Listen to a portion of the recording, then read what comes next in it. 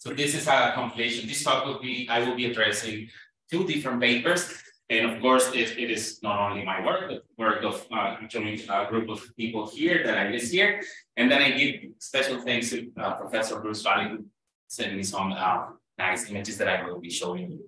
Um, this is the story of how I became a a recent st uh, student, and uh, the latest member of the AGN group. I have to learn a, a lot about uh, AGNs. Um, okay, so in this talk, I will be giving you a very brief introduction of AGNs, which I typically do not do. Uh, and then I will be speaking about symbiotic stars. Then I will go into the specially resolved structures in symbiotic stars, in particular, the only one uh, resolved, which is uh, R Aqr. And then I will go into the X-ray properties from symbiotic stars to finally present you what we did for this CH Cygni. And then I will give you some final remarks. Um, I will not go into the details of AGN and the uh, properties that they have. Uh, very likely Alice told you a little bit of this last in last talk. So let me just tell you that AGNs are uh, is a supermassive supermassive black hole at the center of galaxies, which is accreting material, and there there are several structures moving at fast or intermediate velocities, and there's uh, thus uh, rich stories around this all these uh, things. And these people, the AGN people, are very advanced because they come up with a unified idea to um, explain a lot of phenomena they see in different galaxies, which learning about this, it's something that we low mass stars need. This is something that I've been learning with my X-ray studies of these symbiotic stars. So uh, this is just a nice, nice image that I took from uh, Twitter. So supermassive black hole is accreting material, produces, it has this um, torus-like structure, which is accreting material onto the white uh, the black hole, and then produces these bipolar ejections with, you can study in x-rays, uh, radio, you can study their uh, magnetic fields, etc. So you can go into this Twitter account and take a look at the whole video. Um, actually, in the AGNs are also the brightest X-ray sources. Most of the X-ray satellites or missions that have that we had in the past concentrated most of the time studying AGNs. And so this is a typical uh, X-ray spectrum from an AGN. So in the x-axis, I showed you, we do not use um, wavelength we, or frequency, we use energy, in particular kilo electron volts. And the y-axis is just a measure of uh, energy or number of, of photons we detect in the excitation. Uh, so these people already know that they, there are several components in the X-ray spectrum from an AGN. Um, so the red line here is the, the actual X-ray central source, which is produced by the supermassive black hole. And then there's some soft excess below one kilo electron volt, which people don't know still where it comes from, but it's very likely produced either by the jet or winds from stars in the vicinity of the black hole or anything that could be thermal acceleration. And then there's this purple uh, reflection bump, which is very important. And this is what I will be addressing in my talks on the symbiotic stars. So this reflection bump hump is produced by the torus or uh, material around the, the black hole that reflects the X-ray emission from the black hole. It produces these very nice iron lines here, which are uh, part of my talk or the key features that I want to describe for symbiotic stars. And this is just a schematics of both whatever you see. So a lot of things come from different parts, but you, you see this integrated uh, spectrum. And of course, the unified model predicts that depending on the viewing angle, we see this, this galaxy, the properties of the galaxy are, they vary. And in particular, um, this is an image to show that, so we are increasing uh, column density. So the soft X-ray here in this part are easily absorbed by the contribution from the, uh, the line of sight. The material easily absorbs the X-ray emission, but you can see all the components are there. They're just uh, multiplied by this extinction factor, but everything's there. So the same components are needed everywhere you want to study an X-ray emission from an AGN. And these are two typical um, X-ray spectra from AGNs. On the left, you see um, one with uh, significant soft X-ray emission, it's very likely comes from the wind, shocks, jet. And then another one with very, I don't know, absent X-ray, soft X-ray emission. You see the iron lines about between six and seven kilo electron volts, and then a high energy uh, tail. This is what we would like to see in every, every accreting objects in the universe. And just again, uh, the presence of the iron lines here, which is the 6.4 is fluorescent line, and the other two are uh, the ionized, they trace the ionized uh, medium. So we need a very high energy source to produce these emission lines. Okay, so what are symbiotic stars? Symbiotic stars are anything in a binary uh, that contains a compact object that is accreting enough material from a red giant in order to produce any uh, emission at any wavelength. This is a very loose definition of a symbiotic star. Um, and it's what it was defined in 2013. And if you further, so the definition might include white dwarfs, black stellar black holes, and neutron stars, uh, which is very loose. And, and actually, there are some symbiotic stars with neutron stars and stellar black holes that have been detected in our galaxy.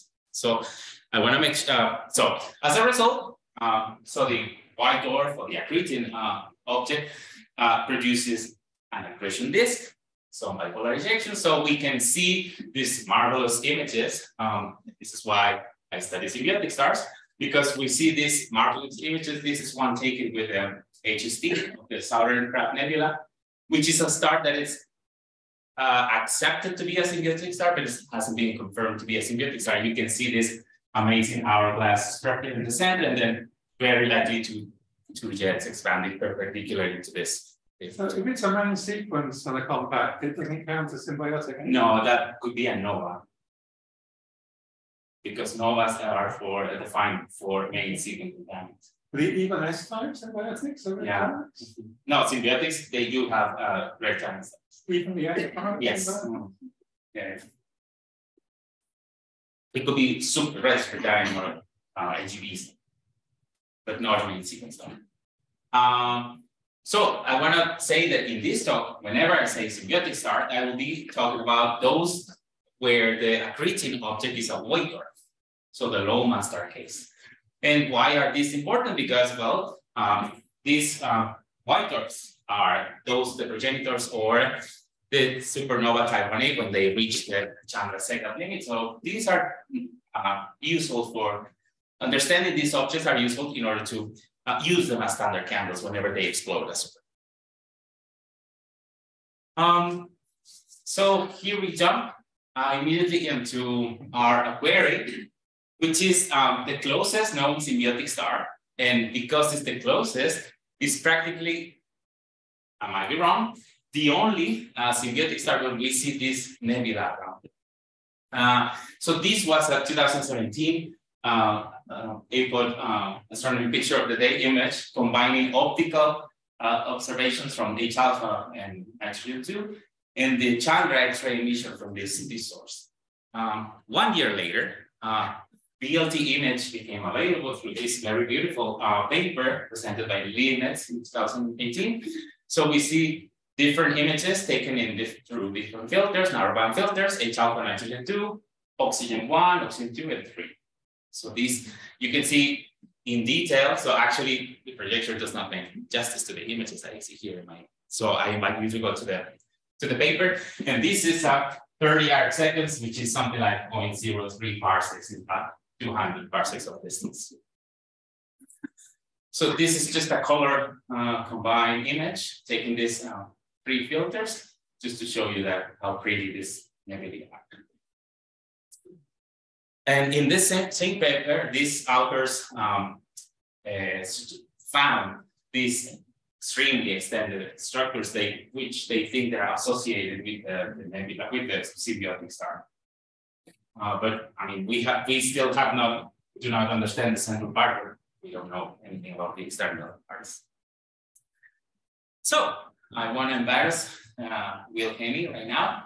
Um, so right now, this is the only model that has been attempted to reproduce the nebular structure of R Aquarii. So it was presented in 1992. I think it was an undergrad student, probably. No, it was, uh, Early PhD. first, the first year of my doctor.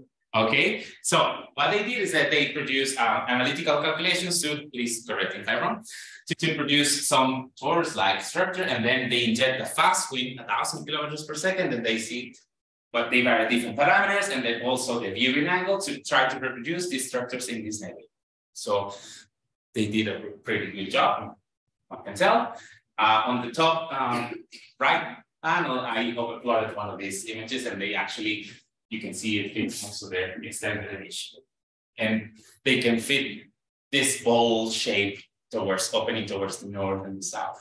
What's the orbital geometry of the, The what? the, the geometry of the, uh, the orbit? Is it because I see the, the jets that are coming out are first twisted and they go up? But we don't, we, this model does not says anything about the binary or the, the jet. The binary has like three hundred days period, something like that. But you don't know the plane? Yeah, we actually almost looking at one. Okay, Um, so yeah, so this model does not take into account the amazing jet precessing jet that we are actually seeing in the, these images. Um, what do we know about the jet? So we know it's a jet because there's been lots of spectroscopic observations and we see extremely high velocity structures. This is a, an HST image combining nitrogen 2, H alpha, and oxygen 3. Uh, so you can see amazing details. So the jet is actually uh, is bubbly, is its structure is cavities, produced like cavities. What is the physical scale? Uh, so the whole jet, so this is. One, two, three, four. So this is point, point three, like point zero six parsecs.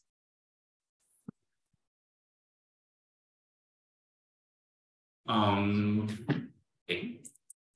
Um, and when you overplot the Chandra images, the X-ray emission is exactly tracing this jet. So you see that the jet is definitely um, emitting X-ray. So it has hot um, uh, plasmas. And because the jet has like a few hundred kilometers per second, we can estimate that the, the temperature of the jet will be something like a million Kelvin degrees using the Dyson formulas from interstellar medium.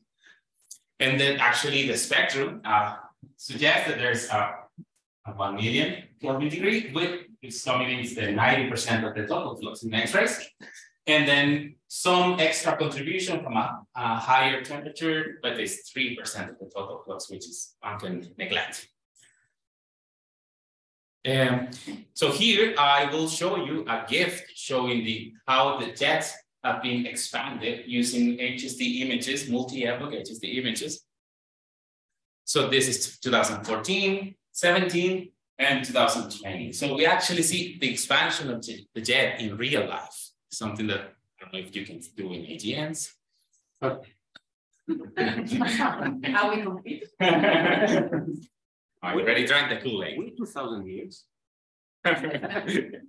so, um, so what we did, so we went into the yes. Sorry. Uh, how, other than looking at the GIF, how do you know that this is expanding? I mean, you actually have velocity data, right? Yes, I mean there's a lot of spectroscopy data since the 80s. Since the 80s. And I'm not going into that. No, so I had a related question. So the, the H alpha width, does that also tell you about the expansion velocities? Yeah, actually the jet is hollow, so you can see that that is hollow with certain blobs moving around. But it's because of its incline, so you can actually see the radial differences. I do not show spectra here, sorry. Um, so what we did, we, we dig into the archival in the XMM Newton, and this is what we see in XMM. So XMM has a PSF of six uh, uh, seconds here, uh, minutes, and we can actually see that X-ray emission comes from all over the puddle. It's actually very well defined or traced by the edges of the nebular emission. So, uh, uh, so this was amazing because data was sitting there from ages, for decades already, and nobody has looked at this. Even though our eh, has been studied for in a lot of X-ray with a lot of X-ray instruments. So this is just a comparison with uh, the Chandra uh, detection. So Chandra actually filters out the extended emission, and we can only see the densest regions. And this is something that it was planned by design between XMM and Chandra. This is the way that both were designed. So Chandra has a resolution of one arc second, and XMM is something about six arc second, but has a higher effective area to detect soft uh, X-ray photons. So both of the observations are complementary. That doesn't mean that we do not see, you can actually see this is a very big clump compared to the structure we see. Uh, okay, if we excise or grab the central part that is detected by Chandra, we only model the extended X-ray emission. We uh, see that the, this is a very poor X-ray spectrum if you compare it to the previous AGN. Um, there's a, a, plasma of 1 million degrees dominating the image. So what we, what we think is happening, so the jet is blowing up, the higher pressure of the jet disrupts the jet, and it creates this uh, bowl-shaped morphologies.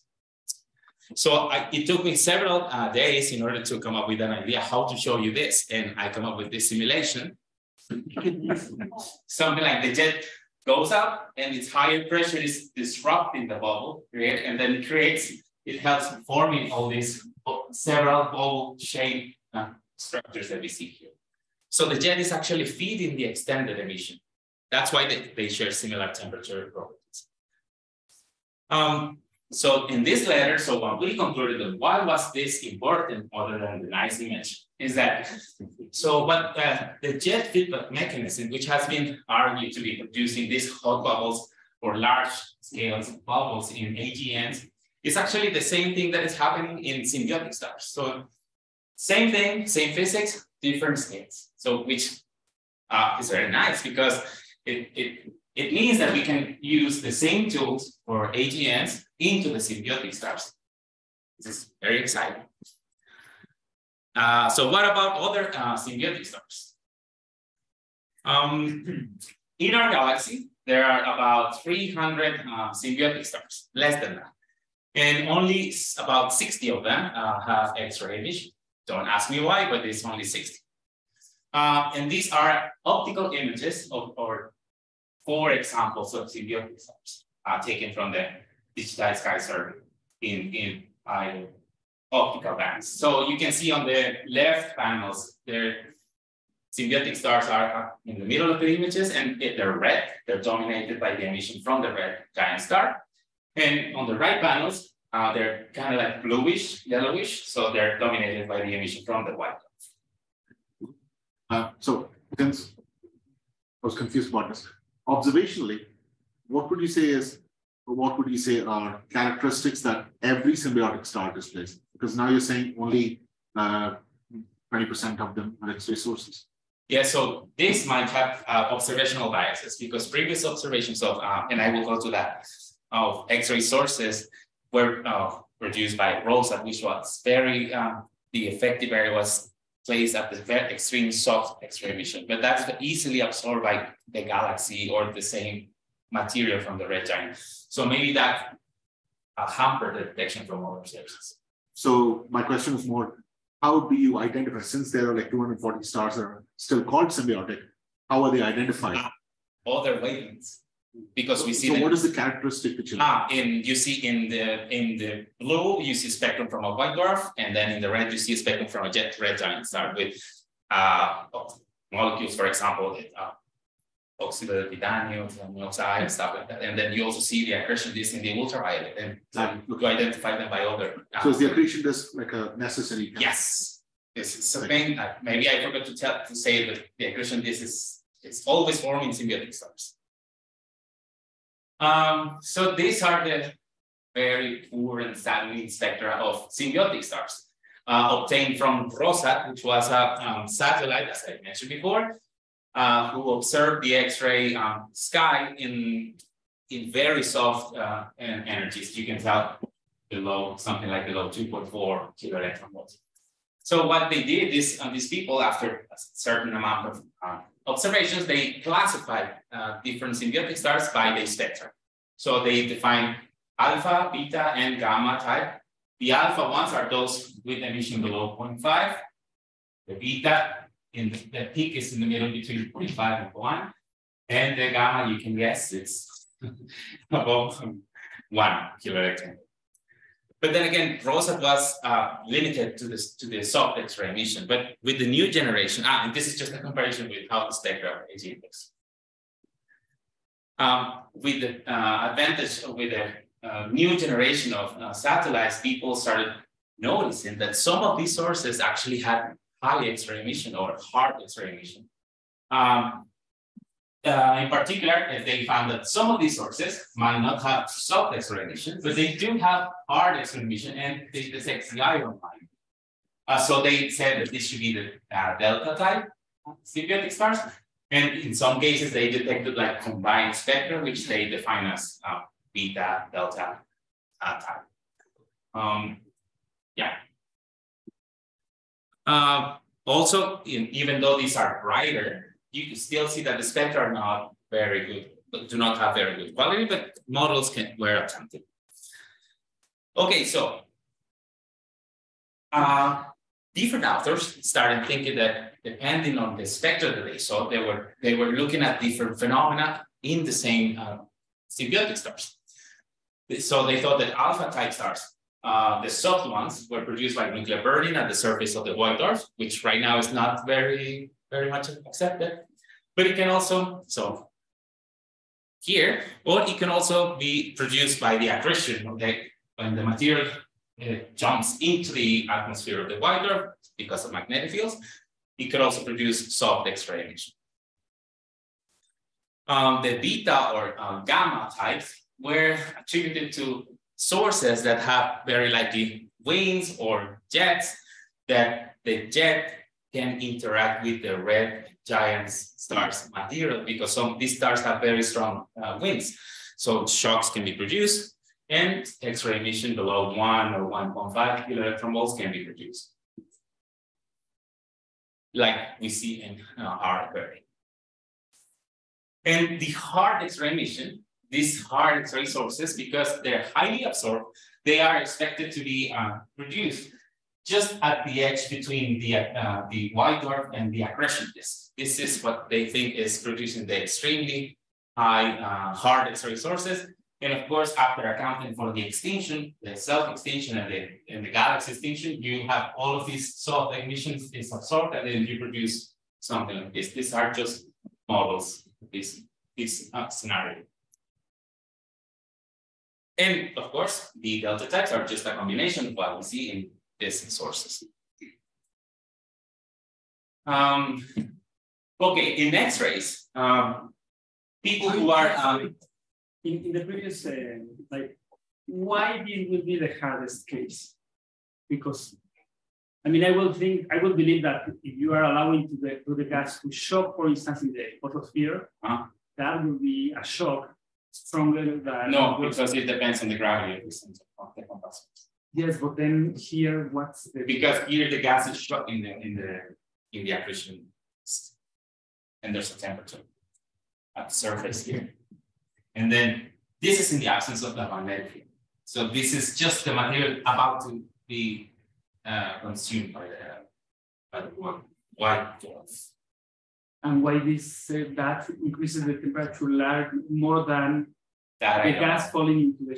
That I don't know, but It should be I- the same, right? Sorry, It should be the same, it's yeah. just the variable. yeah, that I don't. Yeah, But you see, you say this is hard because the soft X-rays are. yeah, it, this is highly absorbed. So it's, it's, it's just a question of the geometry. This is what I will propose at the end. Thank you for talking into this.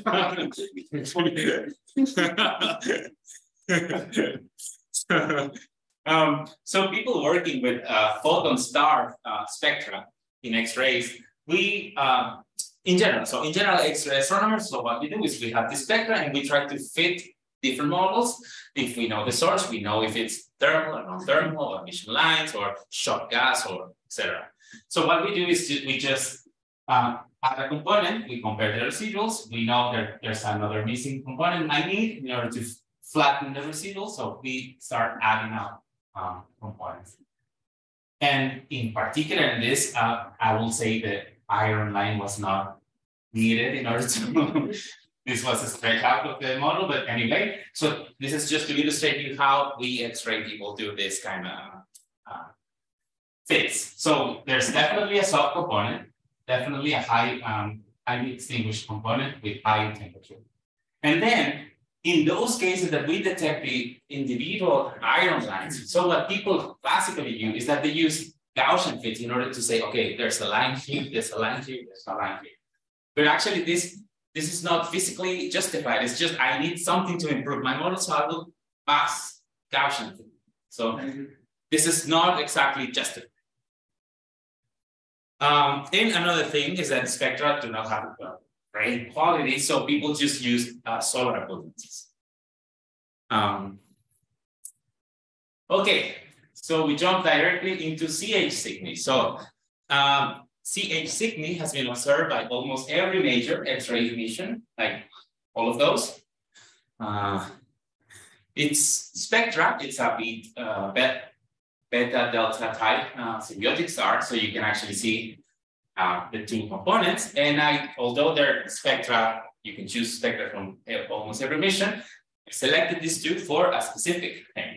So first of all, again, we need a subcomponent, a hard component, something that is extremely broad because they didn't want to, I don't know, make a more complex model. But this Gaussian fit is evidently not three mission yeah. So you can actually see the shape of the residuals, they stop. Um, and these outbursts did not uh, plot their different components, but I want what I want to show here is there is some um, extra emission in the between two and three uh, kilo electron volts that is missing here. You can see it also in the other Oh. I was gonna say it's also here, but because in general, the spectrum does not have a very good quality, it seems like an acceptable fit, very likely the chi-square was something like one point seven, so acceptable, something. Um, and you can also see because these are solar abundances, the emission lines do not perfectly fit in the spectrum.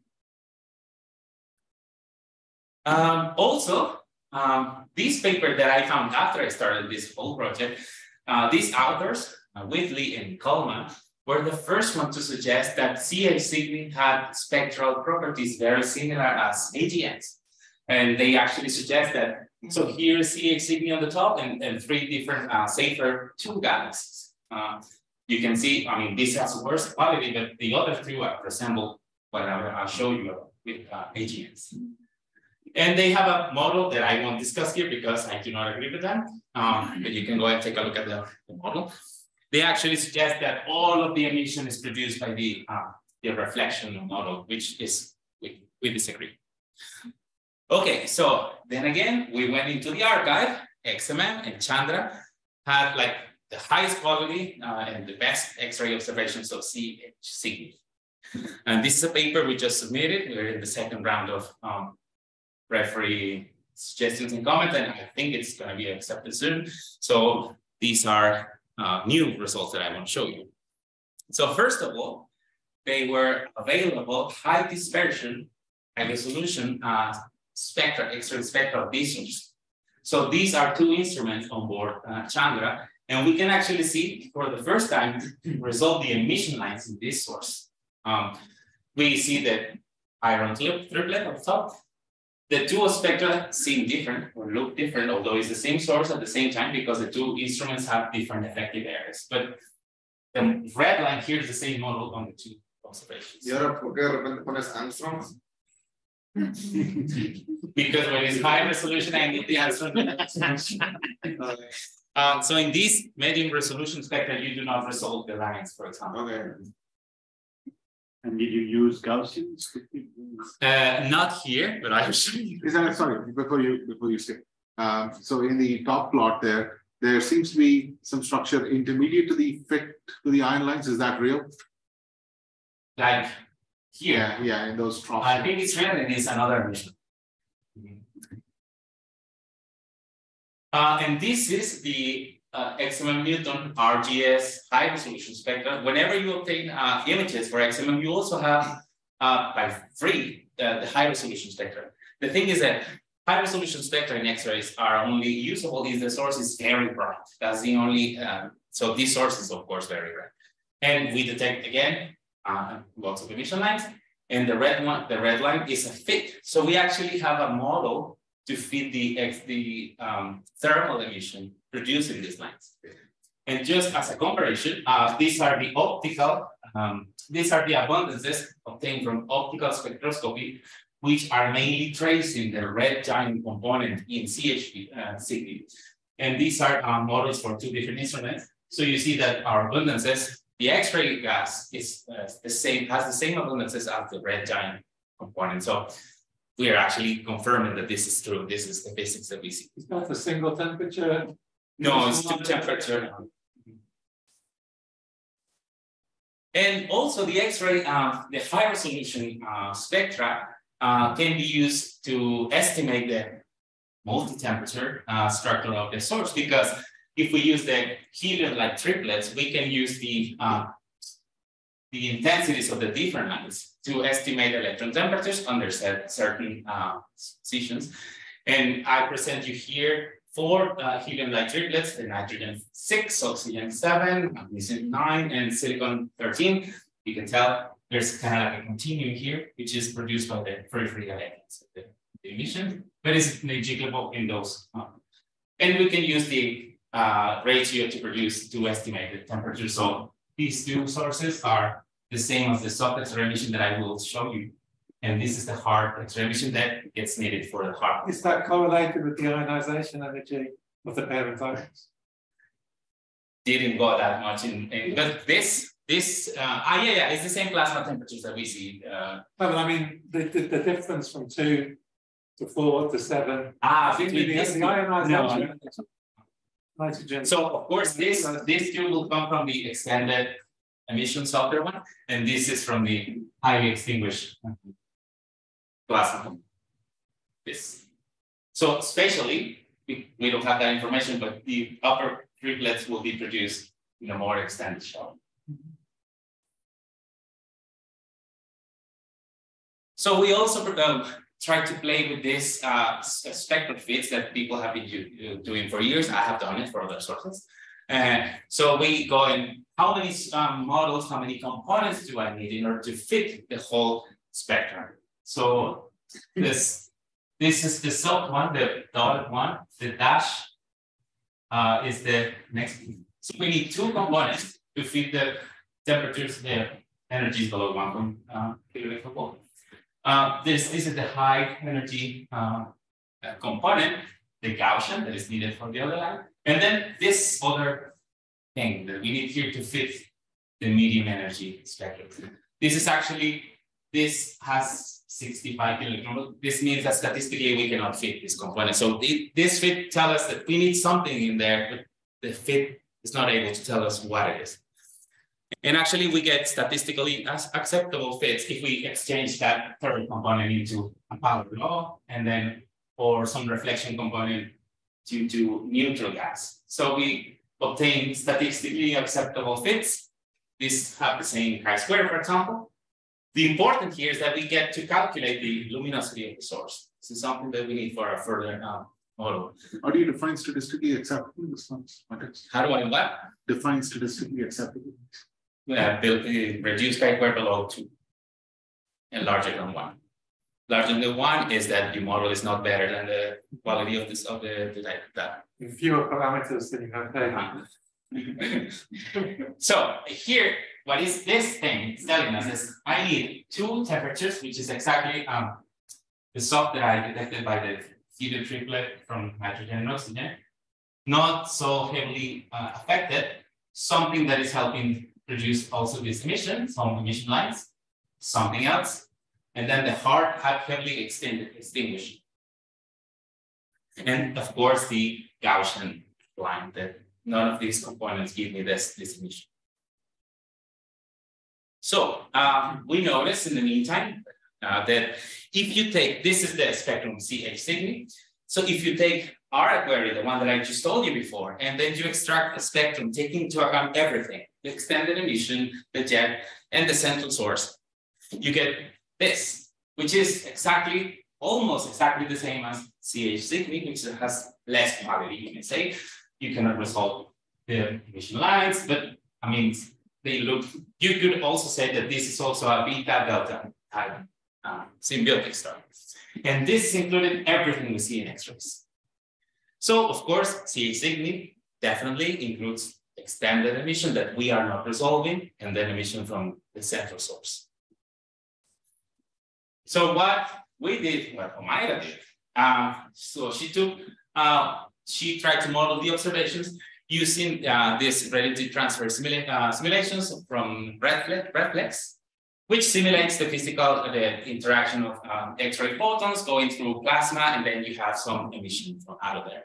Um, we varied different parameters in order to try to fit the properties of this uh, disk. So we think that the disk is, is producing this um, uh, reflection component. So we have the, the radius of the disk, the thickness, the uh, column density, and of course, as input parameters, we have the total luminosity, which we have from the previous models, and the abundances obtained from the high resolution spectrums. And this is the result. So the results, again, they also need this soft component. Since there's something there, extended very likely jets, something that we do not see resolved in our spectra. These orange lines that comes from 0.2 up to 10 kilo electron volt is the reflection one. So the reflection, and it also, uh, it, okay, the reflection emits or can be detected through um, all over the energy range it contributes to 10% of the soft X-ray emission also. It does not dominate. And then we see the high temperature, which is the same as that. And the best thing of this is that the reflection component and the high temperature, they both fit the emission, the iron emission lines.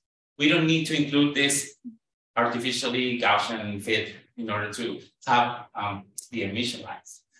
Of course, some uh, details here can be uh, improve, but this is like the best we could come up and everything fits. So we use the AGN tools to reproduce the X-ray uh, properties of a symbiotic. In the previous uh, drawing, no, in the, in the drawing, from where are you looking? Uh, so the model is, it's, so what we did is we did a lot of models, varying a lot of parameters, and also the line of sight. Mm -hmm. uh, and actually, this is the actual line uh, density uh, of the, this, but this is the effective because of the inclination, which I don't remember. I think I didn't write it in the paper. but it needs to have certain inclination to in order to increase. So the effective uh, column density will be this. So, the, so that column density is not, is not either phase on or, or no, it's the effective one that you have because of and then, and then the disk is, is in white. Yes. Mm -hmm. Jesus, have you looked at the variability of the line and the variability on the iron lines? so for years, these sources have been so bright that even the, uh, the intensity of the iron lines have been uh, reported in different papers. This is just one paper that I took uh, from Mukai in 2007. And these are Suzaku observations on top from two different instruments aboard Suzaku, but taken at the same time. So you can just take out one if you want. And these are the three bits of the, uh, of the emission lines.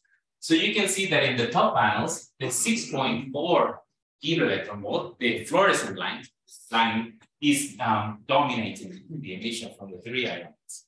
But in the past years, in 2009, so the ions lines dominated the emission. And then it's going back again in 2018 in the XMM Newton observations.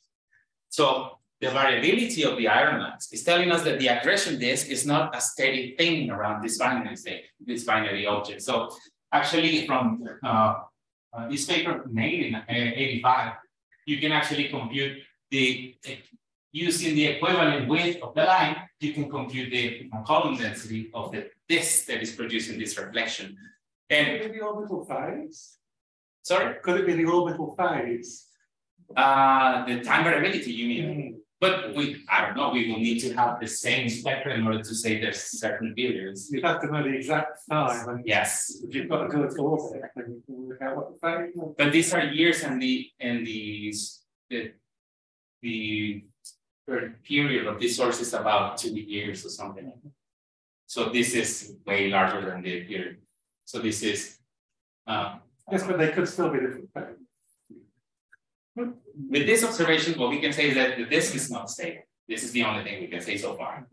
Uh, and of course, uh, it also means that it's that this is it probably has a torus with some structure, some maybe some uh, spirals or something like that. So it could be anything. So this is the only conclusion that we can draw from this, this comparison.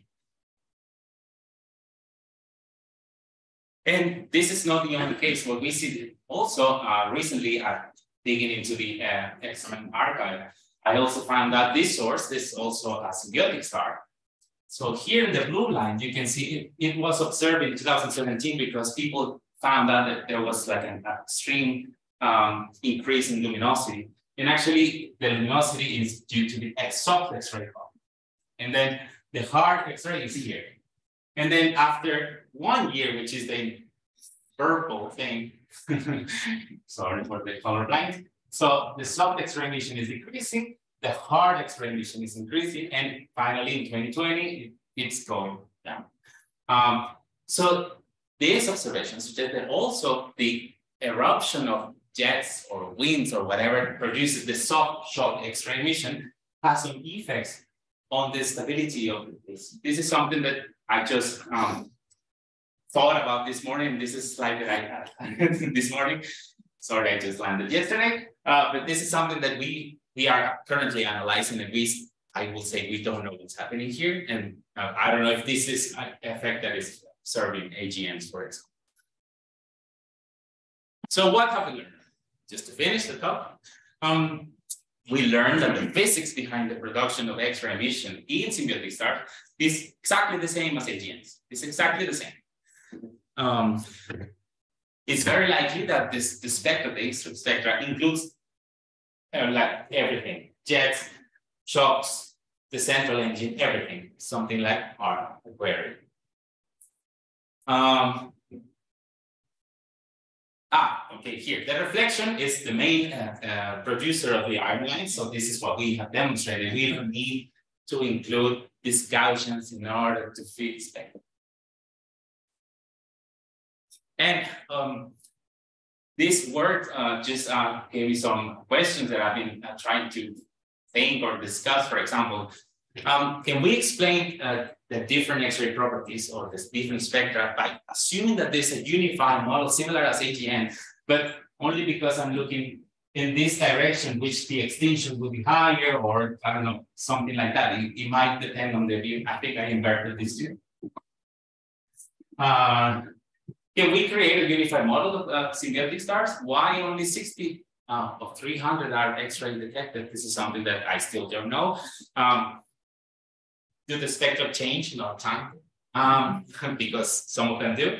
Uh, are some sources more active than others, like the, the equivalent of uh, AGNs are active or not active. So we still, all of these things don't know. And I think this um, is a great opportunity to start working with Omaira, which is also an excellent scientist.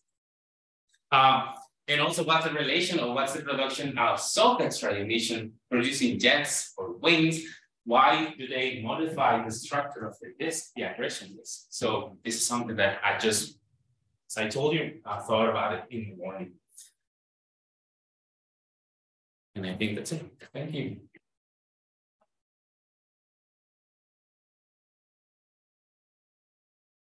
We'll start with questions in the auditorium. Uh, in the meantime, so people on Zoom can also raise their hands. That'd be great. Uh, okay, I saw Javier first. So two questions. Um, you told to me that uh, if, if the, the, companion is not a giant, red giant, or the main sequence, you don't call it a uh, but is there something fundamental that, that may change if it's a, a, a yeah? Well, while I kept talking, I thought it's because the closeness or the, the radius of the giant star is close to the accreting companion. Because accretion has to be uh, continuous, mm-hmm. and in other, uh, it, it, depends on the orbit probably. So that's why in orbit we only see like explosions once in a while, mm-hmm. and in this case, the the accretion disk is active all the time. So I, I guess it has to be with that, but I, I'm not sure. And also the low surface gravity probably of the red giants compared to main sequence. Yeah, but they're so effectively closer. Yeah. So I think it has to be with that. Okay. The other question is, uh, so you you said that the, the AGN spectra looks similar to this thing, but I understood that it was only for the alpha delta types, isn't? Or you have in the AGN case also the four. different AGNs by types. themselves, they don't emit X-rays. But you don't, didn't you say that you have similar spectrum? AGNs, no. Why If? I said that, I'm, I'm wrong. A- AGN stars, which You have the. why- AGN. AGBs, yes, no. I- He just learned that yesterday. Okay. Go ahead. So, okay, so can can you put the, the, the images, uh, uh, the, the- the four types of, uh, Uh, you, you have on the right pan, that one. Ah. So uh, I imagine that some of them are AGNs and others are symbiotic stars. the only one symbiotic is in the top. Okay, so this is alpha delta, isn't it? Yes, Do you have the other delta. types in the case of the AGN? Do you have the other types or, or only this one? I have no idea. Oh my We have God. the other type, yes, so, Like, uh, so, yeah, we have also soft uh, enemies. You have the four types then. and also I will say this is like a, This is a matter of uh, obscuration along the line of sight for us, for us. For AEMP. But this, this was really fun because uh, the way they look at the spectrum is totally different the way they- that we look at the spectrum. Mhm. So we approach in a different way. And so I have learned things from, from his side and he has learned things from my side. Okay, because if, if it's the same phenomenon, then in my opinion, the accretion shock thing should be discarded. Because this is not going, that is not something to. I don't like the in accretion in the- In the AGN. I mean, if it goes into the black hole, you don't, you just don't see the the accretion Right, shock. right. I don't like the accretion shock. Uh, What I think it's, it's, it- it- we are detecting is extended X-ray emission due to jets or a, a hot bubble. Why I don't have it here. Well, it's just the kinetic energy of the disk that is being dissipated close to, uh, Yeah. you know, in, in the case of AGN, close to the black hole or where the Schwarzschild radius is three. But here it's the same thing, that must be producing the X. Yeah, I don't like this idea. I don't like this idea, but it's been uh, proposed for magnetically active white dwarfs. Because the, um, I mean, the accretion rate is not onto the star, but depends on the configuration of the magnetic field. This is why I think this has been proposed. But what I think soft X-ray emissions coming from these sources is from jets or hot bubbles around. Which will work also in the case of the This is, this is why I said that. Uh. R Aqr looks more like, In the case of Belgium, it's more complex because it could also be the host galaxy. If it's uh, faint enough, the host galaxy is contributing also that so extras. Uh, oxygen. Okay, we'll move on. Yeah. Okay, so when I mentioned variability, uh, went pretty quickly, but what I wanted to see is if, uh, if it's correlated with the iron line variability and the variability of this excess that you see in the middle because it's the same component. uh, I actually tried to do that, uh, but there's no correlation between the, um, It should be because it's coming from the same. there's not. no. Why? I mean, I don't know. physically it should be. Right, um, I don't know, there's no, I mean, I tried to It's correlate the the extension. You just Uh, learned it yesterday. it seems. The only, it, it seems like it's higher here than here. That, that's But okay, not- variability of individual component is fine, but co- they should be correlated, that's all, that's the but point. it's not.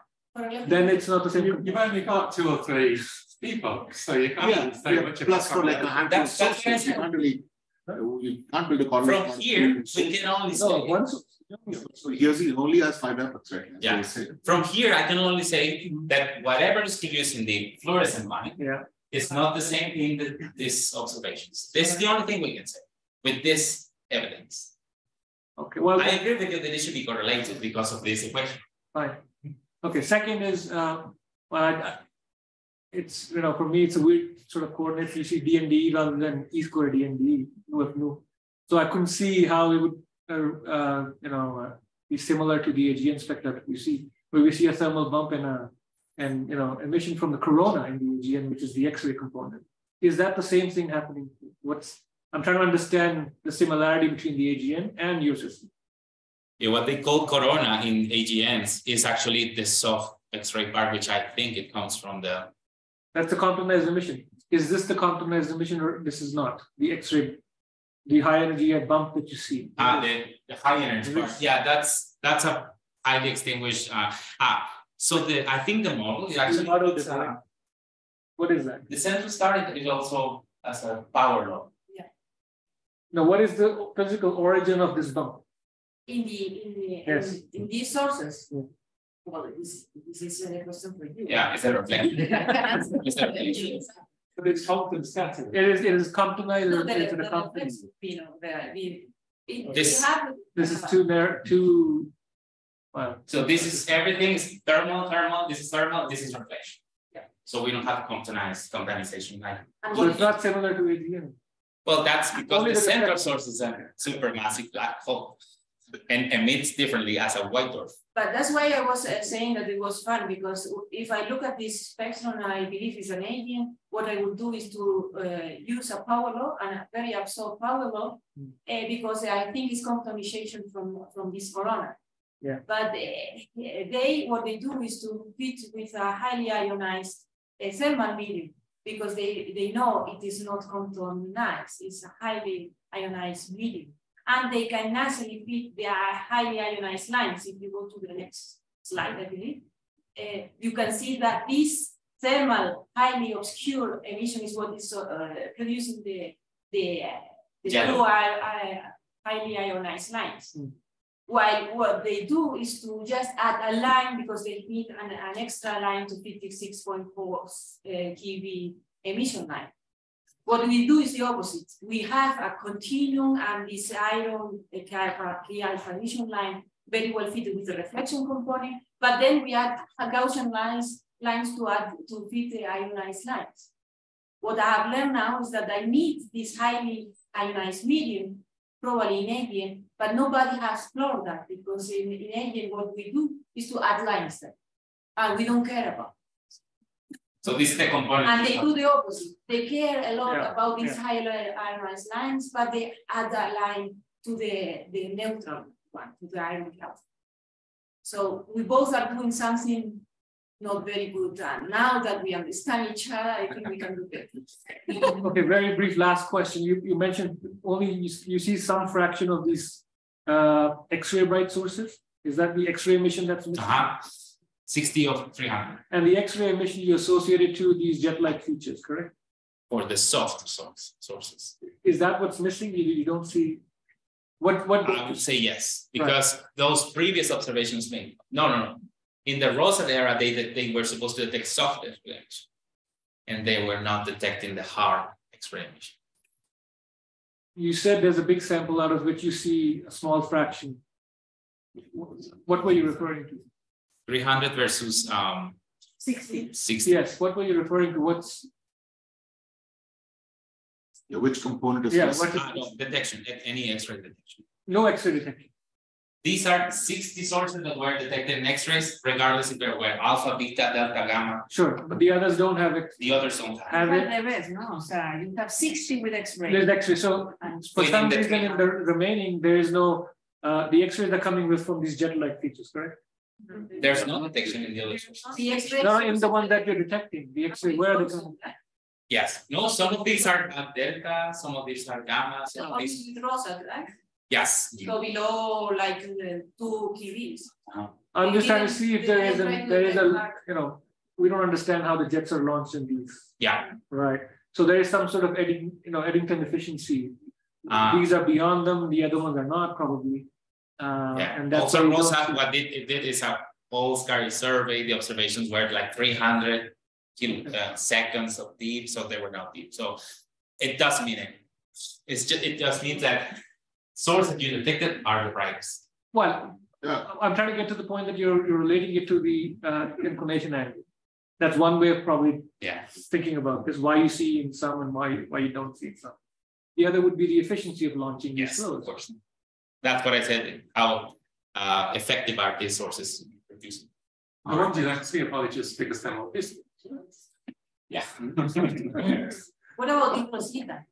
Uh, in eROSITA will be like eight XMM Newtons connected, so we would very likely detect More. severe stars.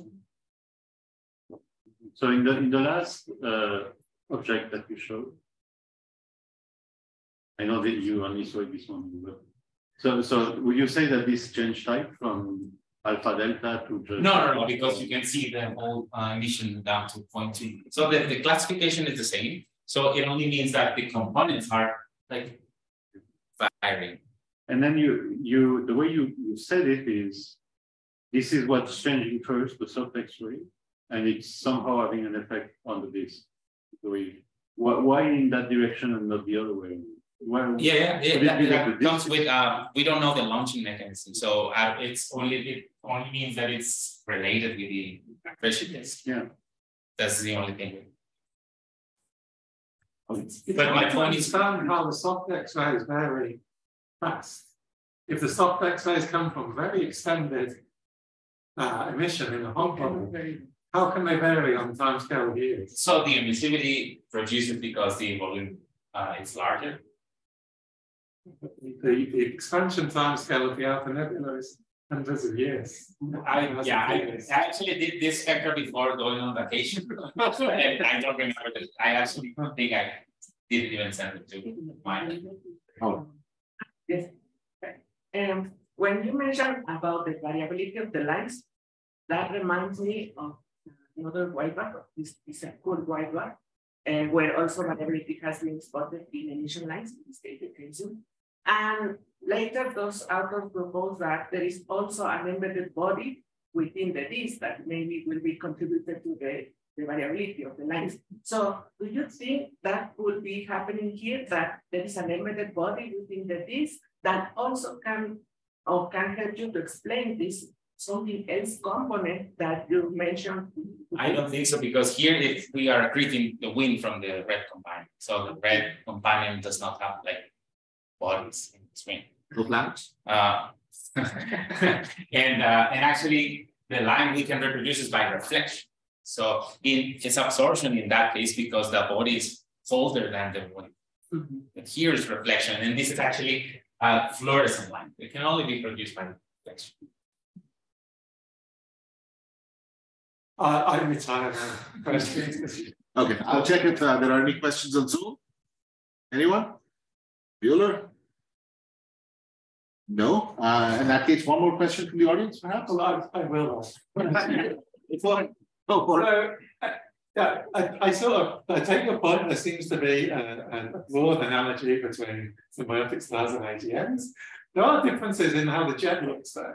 You see in the AGNs, you see, you see a sort of working surface and you see a cocoon around that. And here, you only see the jet close to the source. You don't seem to see a far working surface. And then you see this, this hot bubble Uh-huh. but there's no sort of feature in the hot bubble that you can associate with the working surface of the jet.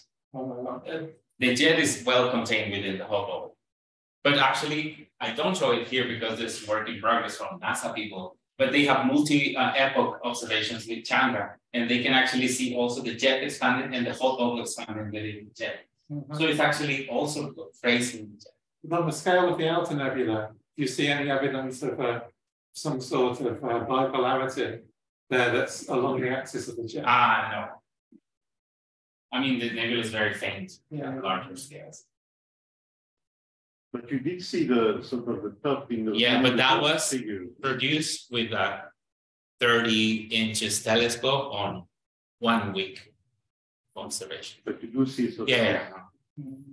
Well, here it, it, it looks like the system is quite variable in terms of its information. Mm-hmm. That's why you see But- these these features and you dissipate, the working surface becomes much broader because you're dissipating energy in all sorts of directions. And in the AGN is much more collimated. Yes. Last question. Is there any idea of uh, if you some somehow shut down the, the accretion mechanism, how long the, the jet will still look like a jet and, the- and the extended emission also? How, No. how long it will take to fade out? It's a simulation. Huh? yeah, yeah. to sim- Yeah, yeah, yeah. simulation. Unique. Me? R Aquarii had like a seventy year period, is that right? Something like that, yeah. Uh-huh, no, uh-huh. uh, For the orbit. yes, uh-huh. This, And that's yeah, related to the outbursts of the jet. is- On that period, is that right? I don't know.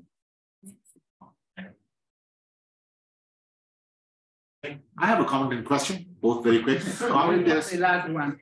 I get the host. Uh, uh, The comment is, you people are all wrong. The plural of AGN is AGN. Uh, The, the question was, what's the furthest, so I saw that there was an SMC source in there. What's the furthest that you have spectra in the X-ray for uh, uh, symbiotic stars? Yeah, there are sources in the Magallanes class. Um, yeah. I'll talk to you later. Excellent. So it's been a very engaging discussion, a lot of heckling. So let's thank the speaker. again.